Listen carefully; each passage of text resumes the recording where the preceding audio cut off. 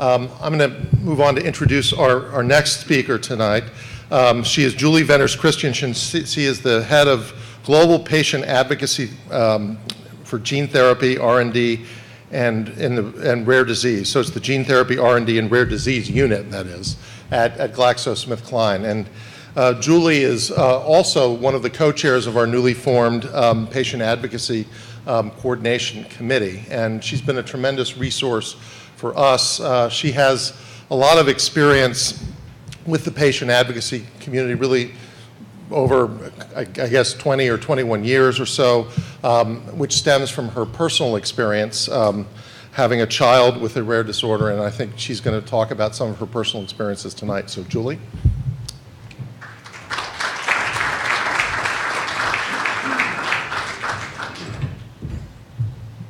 Good evening, everyone. Thank you for inviting me here this evening.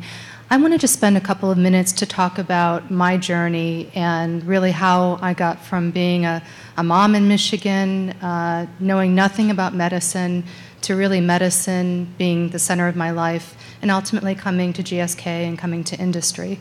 So you may see these beautiful pictures uh, on the slides. That's my daughter, Brielle, and I actually have five children. Uh, Brielle is my third child. I have kids from age four all the way up to 28, so I'm a little bit crazy too. Um, but I want to really talk about the diagnosis and some things that happen even before the diagnosis, and I think it, it might be of interest to you and, and, and, your work. So, when I was pregnant with Brielle, I already had two rambunctious sons, who were very active in utero. And I specifically remember reading a book called The Kennedy Women and worrying that I could not feel Brielle kicking in utero. And um, concerned me. I would talk to uh, my doctors about it. Everybody said, ultrasound looks great, no worries. So, what's really interesting is remember that I'm reading the Kennedy Women because that'll come up in, in a few minutes. Um, and I was really inspired by the book, The Kennedy Women. I really, you know, was not into politics at the time. Of course, knew about President Kennedy, but um, was inspired by Eunice Kennedy Shriver and her work in the Special Olympics. Regardless of what your politics were, she really enthused me as I was reading this this story. Didn't know that I had a child with severe disabilities that that was growing inside of me. Um, so fast forward, Brielle is born. She's nine pounds and very healthy looking, rosy cheeks. Um, and she slept all the way through the night, the first night in the hospital. And I had that sick feeling like, what is going on? Why is she so sleepy? Nurses are like, you just don't know. You've, you've had two rambunctious boys. Girls are so different. So this would be the story for the next three, four months. I would take Brielle to the pediatrician. She was always sleeping. And um, they just said, baby, sleep. I said, I know, I have two boys. But uh, they said, don't worry about it. So at about two months, Brielle started throwing up constantly. And again, pediatrician said, you're really getting a little bit obnoxious, Julie. She, kids throw up. And um, you know, I was very persistent. And again, she started not going through the normal milestones that my other boys did but I wasn't being listened to. And I began to just think, okay, maybe I am a little crazy. Um, I, am not being believed, and her checkups seem fine, uh, according to the doctor. When you know, at about four and a half months, um, I was sitting having some coffee with one of my, my friends, and her husband was a pediatric surgeon in his final year of residency at the University of Michigan in Ann Arbor and he was giving a big presentation that evening, and he had forgotten his briefcase. And they had two boys, and I have Brielle uh, in my arms, and Jim comes home running, rushing to get his briefcase for his presentation. And across the room, we're sitting, and, and he looks at Brielle a little bit funny, and he comes over a little closer, and she had her head cocked a little bit like this as I was holding her. And Jim said, You know, I've always wanted a little girl. Will you let me just take her for a quick little walk? And in my mind, I knew he was examining her. And he came back about 10 minutes later and he said, I want you to come to the University of Michigan with me right now. He said, I've already called neurology, and if you don't come with me now, it's going to take you months to get in. So I went with Jim, and Brielle was admitted that day. She had a muscle biopsy the next week, and she had some type of mitochondrial disease. And you know, this is the time when they didn't know whether to have a fresh biopsy, a frozen biopsy. Um, she didn't have any of the known mutations, but she definitely had red, ragged red fibers. She had MELAS type symptoms, and it didn't, it didn't look good. So the pediatric neurologist, great, great guy, and he basically said, What took you so long? And, you know, these are kind of some of the things that parents go through. It's like you, you, you have these instincts that then people don't listen to you. And this pediatric neurologist, I've seen him since, and he's a great guy, and, and he'll always say, I'm so glad that, that everything is working out okay. And so it's fun to see these people later on. But he said, uh, Brielle is not going to live past a year. He said, I, I, I give her a couple of months because um, she had carnitine deficiency, lactic acidosis, very serious. And I went home during this time and I really um, didn't know what to do with myself. You know, I, I was uh, devastated, I cried, I um, you know, kind of sat in the room for two weeks doing nothing. And what finally got, got me out of bed and interested was thinking about starting a, a support group. So uh, Brielle's metabolic specialist is Dr. Jess Thoene. You may have heard of him. He founded the Cure for Cystinosis. And uh, he happened to be at the University of Michigan at the time. And he was also chair of the National Organization of Rare Disorders at that time. And it just so happened that um, I, when I went to visit him, he said, There's a NORD conference coming up in Dallas, Texas, and I want you to bring Brielle.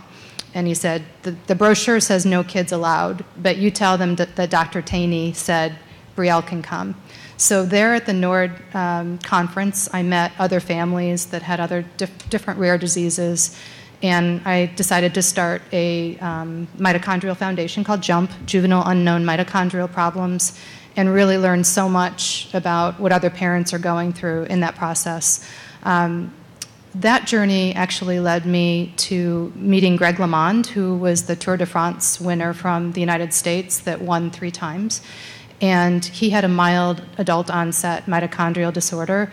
Um, and so he ended up being the national spokesperson for the organization I started, and we did a lot of cycling events in Michigan and raised some money for the University of Michigan for mitochondrial disease research. Um, so, flash forward, I went from there to working for a magazine called Exceptional Parent. I was the editor. Uh, that was outside of New York City, and it was a magazine that served physicians, healthcare professionals, and parents that were caring for children with disabilities. And in my, my time there, I, I really interviewed families, healthcare systems, hospitals, um, schools, best practices for raising children with disabilities. And so I ended up hearing about a fellowship that Eunice Kennedy Shriver offered every year, um, and it was called the Joseph P. Kennedy Jr. Fellowship. And it was based in Washington, D.C., and I really thought that would be so interesting. And many of you probably know Steve Groft in the room. Um, I had met him a few times at, at the NORD meetings. In fact, Brielle cried through one of his presentations at that first meeting, and he thanked her and said, It obviously is time for me to stop talking. Um, so, Steve was the first person that kind of sponsored me, wrote a letter to Eunice Kennedy Shriver, and said, I think Julie um, would be, be good to represent people with disabilities on Capitol Hill. And so it was a bipartisan uh, fellowship, um, and I was chosen by Senator Jay Rockefeller, Democrat, West Virginia, since retired, uh, to work on health and disability policy. So I was going through a divorce, which is very common in families, um, you know, very stressful time um, in general, just raising a child with a disability. Um, so I came here as a single parent in the year 2000 to Washington, D.C., and I ended up meeting with Eunice Kennedy Shriver, and um, I told her that while I was pregnant, I was reading the book, The Kennedy uh, Women, and she said, That's so interesting. She said, Well, what did you learn? And, and I told her, you know, that I learned how important it was to just let the kids run and play and be active. And she said, Well, would you like to um, start coming over to my pool and I'll bring over some Special Olympics coaches to teach Brielle how to swim? So I really got to know the family. And again, whether you're Republican or Democrat, they were an amazing family for, for children with disabilities. And one day, um, when it was August, and her son Mark Shriver was actually running for the House seat in Montgomery County, and I was helping out with his campaign. This was after my fellowship. And uh, sh- everybody was on vacation. It was August, and I was there with Brielle and the, and the swim coaches. And she said, um, "Can you can you just um, look up at me?" And I'm up on the balcony, and I'm going to come down with someone very special in a few minutes. So I looked up, and down came a woman, an older woman in a wheelchair, and it was Rosemary, her sister. And it was one of the most uh, magical experiences to me because the sun was setting, and it was just Eunice and Rosemary and Brielle and I in the pool, and the coaches had left, and Rosemary was looked amazingly young for her age. Um, and she loved Brielle's hair, and she patted her hair, and I just thought, how many people get to meet their mentor um, and why they started what they're doing? And, and here, Rosemary had inspired Eunice to start Special Olympics, and my daughter had inspired me to start my foundation.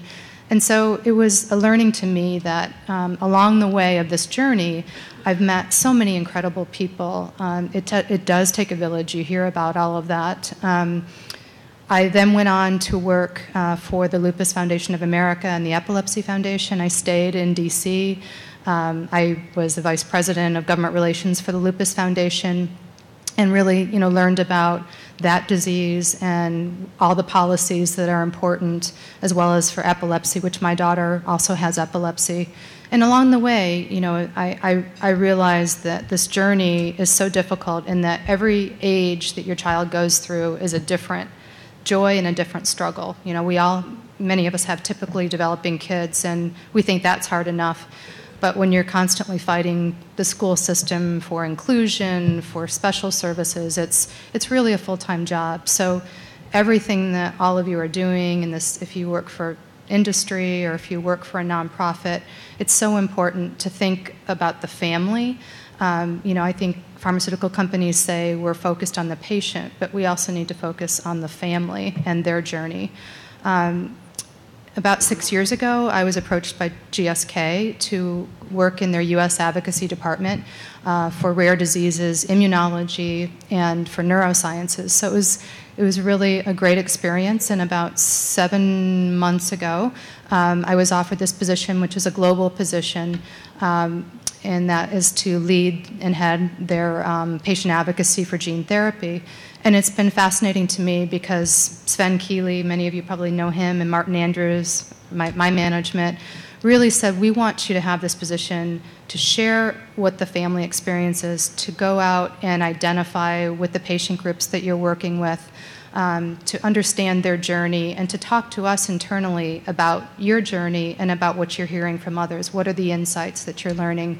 So we've been working a lot on doing patient insight seminars internally for you know our 90,000 uh, worldwide employees, and I try and interview some of the, the patient groups, and so that our, our internal employees can understand the great work that the patient groups are doing and that the family experiences. One of the other things I'd like to work on with GSK is again, this is a family disease that we're in, you know, genetics the genetic disorders are so tough because we see families that not only have one child, but have two, three, four children. And I know in my, myself, uh, in my family, you know, you look back at some of the things like the sudden infant death syndrome, and it all makes sense. And there's a lot of guilt that comes with having a genetic disease and not knowing yourself until your child is born. And then, you know, you have to deal with that as a family disease. Will your children be carriers? Um, and you think about all the caregiving issues that they go through. So I really just wanted to bring a little bit of insight on what I've learned. I've been really appreciative of GSK allowing me to be me and to learn from all of you and to learn from the patients and the families most importantly. So thank you.